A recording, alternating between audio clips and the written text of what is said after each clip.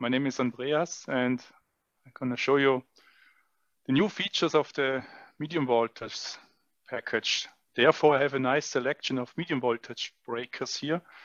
On the left side, you see the quite common ABB VD4 with an overcurrent release integrated. In the middle, we have the, the Safe Plus breaker, medium voltage GIS uh, with the um, WEGA uh, interface so we can demonstrate the VTM feature. And on the right side, we have the SACE breaker, which has an undervoltage coil integrated. I will start with the middle one, with the Safe Plus breaker. And I will start with opening up the test plan in primary test manager. Therefore, I have the latest 470 version here. Open it up, select the right breaker here at the location and create a new, new job, which has automatically created the required test plan for it. As you see, we have quite common tests, motor current, close, open, minimum pickup, contact resistance, and this specific VTM test we have here. So let's start with the first one, which is the, the motor current test. Therefore, we have the supply for the motor switched off, and we will provide the right connection from the CIBANO itself. So we're going to use the cable row B and connect those to the control terminal. The control terminal is here behind this lid using the schematics and then we can connect them. So BN goes to 52. We have close goes to 53. And the trip goes to 55.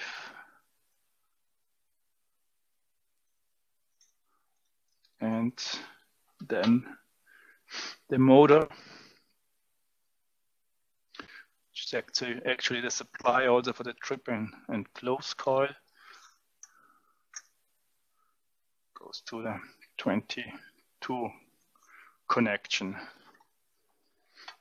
So everything here is control is connected. And the next thing we connect are the main contacts as we have here on the medium voltage package. We don't use the MC2s, which is not required on the, on the medium voltage level. So we're gonna use the arrow to connect the main contacts. So according to the wiring diagram, and because the access is limited on such a such a setup, um, we're going to use the connections here on the bottom of the breaker.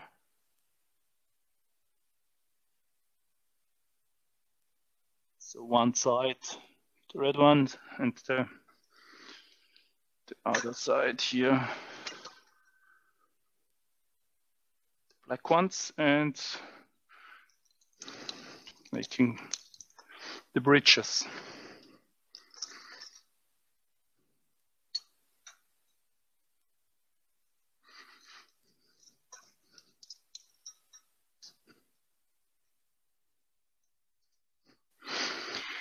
This is quite specific connection for a medium voltage GIS. The main feature of this type of breaker is that the primary path is encapsulated. It is sealed for lifetime, so there is no other way to access the main contacts of the breaker or the, any other contacts here.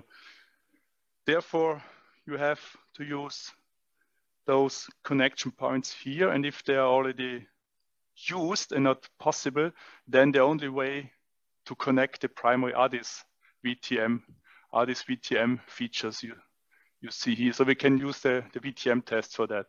But to compare it with a regular timing test, we're gonna connect it in this example like here. So everything is connected for the regular tests. And we wanna start with the motor current test. Connected here. We see at the breaker, breaker is open, spring is discharged. so gonna press the start test button here. Now he's ready for execution. Now we execute the test. And you hear the motor, how is he is charging the spring. Now the spring is charged and we got the motor current. As we can see here. So next test is the close operation. Switch back the supply of the coils here.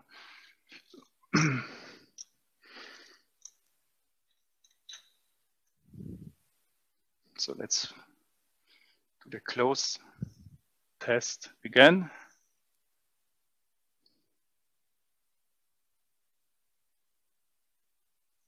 Okay, ready for execution.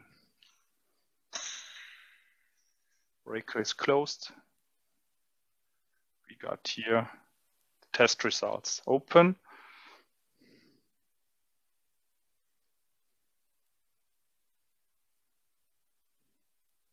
Execute the test. And right afterwards, you hear the motor, how it's charging the spring. That's because I switched on the fuses before, so it does it automatically. So the next one in list is our minimum pickup. So we're gonna run that test, increasing the voltage on the close coil until it trips.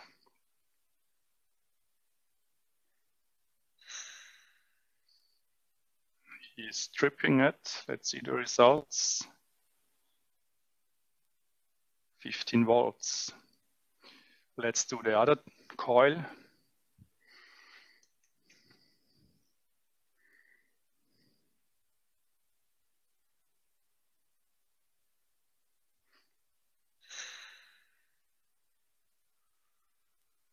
And the result is telling us 15 volts as well.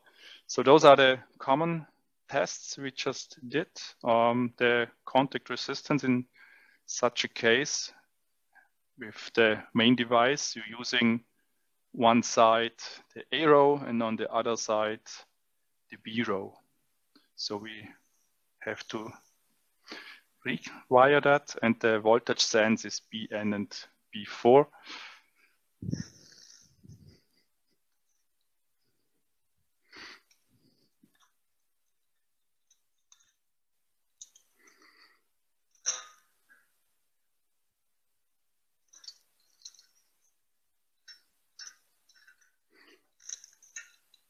So we have here the A's. In that setup, I'm using I'm using such a, an adapter here, which makes it quite comfortable because we have Kelvin screws here. But of course, on the normal setup, you can you can use the regular Kelvin screws as well. So on the other side, we have the B's, B1, B2, B3.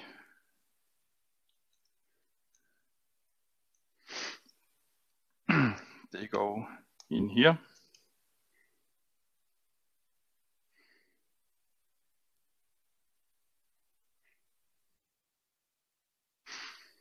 And connecting the other side of the of the same phase and then we're measuring the voltage drop which is B4 and BN. We have to close the breaker before we do the contact resistance test. So breaker is closed. We have the whole measuring path now closed. So let's start up measuring the phase A again. So having the 100 amps going through and measuring the voltage drop. So we have 240 microohms. Let's do the other phases.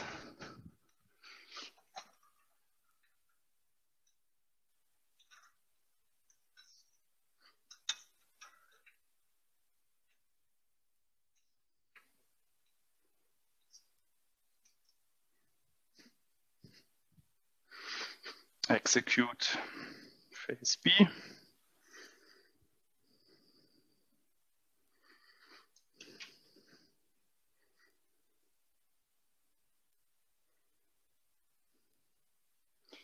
And we got the results, 201 microohms. So the last one,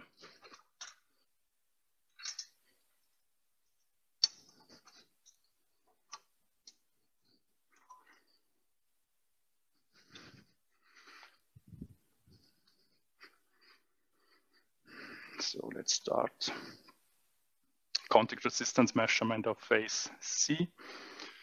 Executing.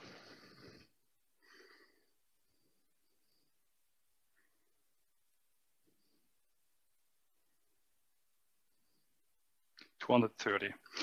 So we went through all those standard tests for medium voltage breakers, and now we're gonna do this specific one, specific one for these medium voltage circuit breakers, medium voltage GIS circuit breakers. Um, as I mentioned, usually you have cables in here going out this feeder. So you cannot easily connect as we did now. So just imagine they are in service and carrying voltage.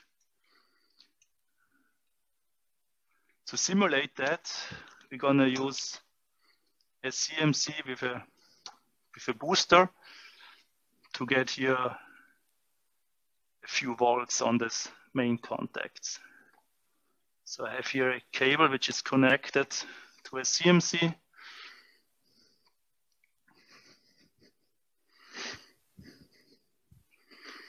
So let's simulate some voltage on the mains. Therefore, I switch to a quick CMC card. I'm connected already. Uh, let's use 300 volt outputs, the maximum. And switch it on. Now we have enough voltage to have the voltage indication devices on the medium voltage showing some errors there. And therefore we know it is in service, it is live, and we have to, we cannot connect the primary path anymore. So how to test this setup? Um, we're gonna use we're gonna use the connection points here. And when we go back to the PTM and checking here the hardware configuration of the hardware configuration of the test here, you see that here the arrow goes to these connection points. So we are using the arrow cable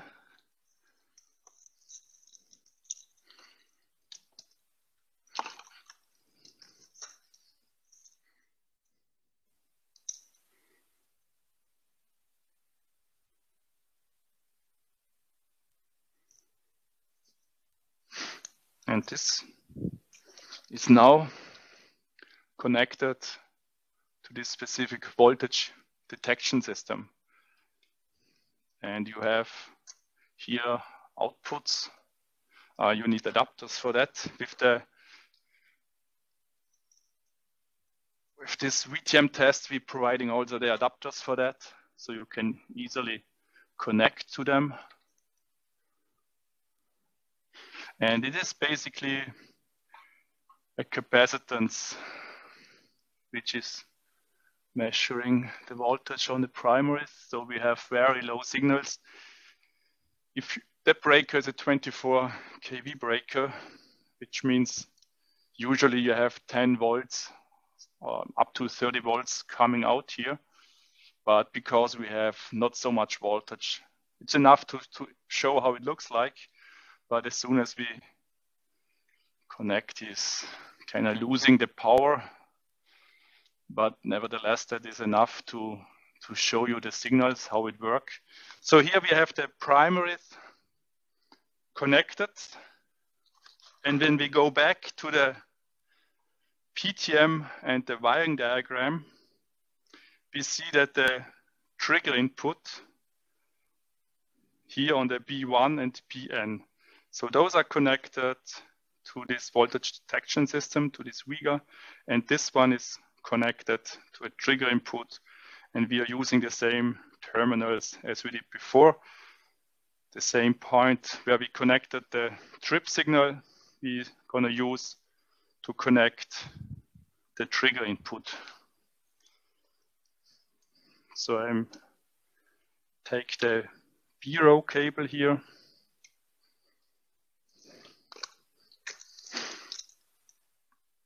using for the trip command B1, checking the schematics. Trip signal is X152. So we have 52. And the neutral NBN goes goes to 50, goes to 50. 52, sorry, 55 is the trip signal. Yeah, I put it the right, right way. So this one goes to the common.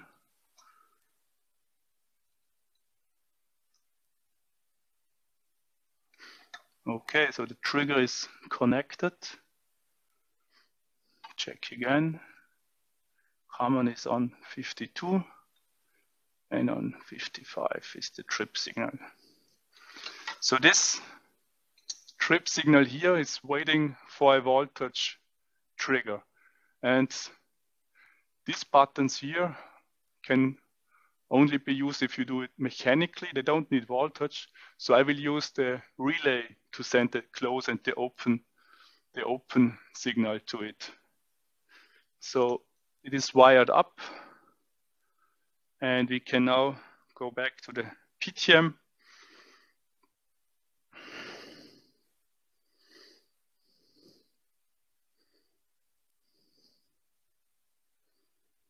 and we can start this test. So it is an in-service test waiting for a trigger signal. So when I start the test, he's waiting and to send the trigger, I will use the relay here. Breaker is closed, sending the open command here, the trip command say okay. Then he trips the breaker, test guts the trigger, and we see the, the results. Those are not so nice sine waves. As I mentioned, we using the CMC not real, the real values, not uh, real 24 kV, but we clearly see when, when the sine wave gets stopped and interrupted here. You can even overlay that with the other measurements you did before. So let's do the same for the closing. Here again, the signals are, the main signals are the arrow, and here we have the B trigger. B1 is the trigger. Um, we're doing the close, that means this time it goes to the close terminal. So we have to check where is the close signal coming, it is the 53. So we're gonna use terminal 53 and connect that as well. Checking again, we have BN on 52 and B3 sends the close signal. So close is now connected to B1 in PTM. So we are set up. Let's send the start command.